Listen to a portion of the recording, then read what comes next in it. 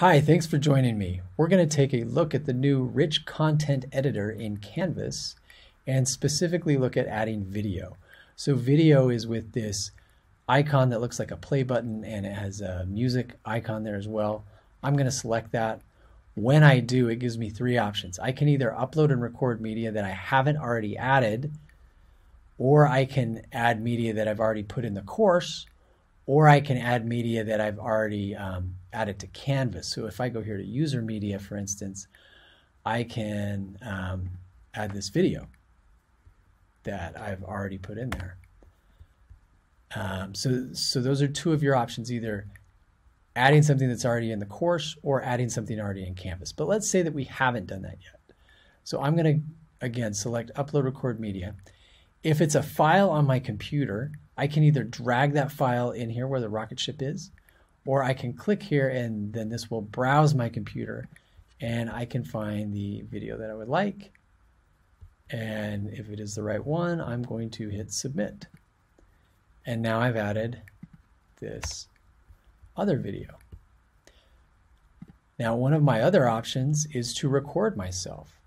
So I'm going to hit record and this way I could give any instruction or announcement or, you know, just make a more personal touch with what I'm doing.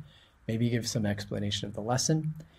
And what I want to do is make sure that the mic is turned on, first of all, and you can see that's working now. And then when I'm ready to, I'm going to hit start recording. It'll give me a, a three, two, one countdown. And then I would give my announcement. Uh, when I'm done, I can hit finish. Then I can replay that, make sure that it's what I want. If it's what I want, I will hit save. If it's not what I want, I can hit start over and try again. So that's how you would add a uh, just recording of yourself. But let's say that there's a video out there that you really like. Um, maybe it's on YouTube.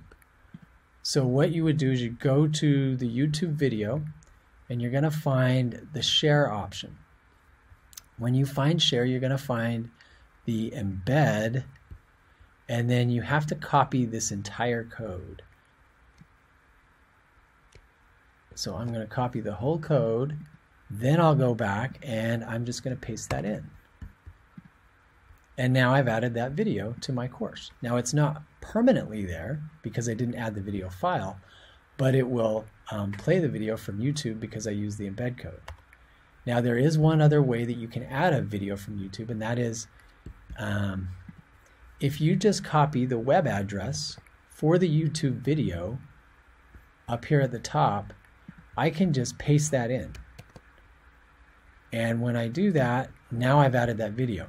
But you'll see it's not quite as ideal as adding the embed code. So I'm going to save this so we can see what all the video looks like that um, we put in here.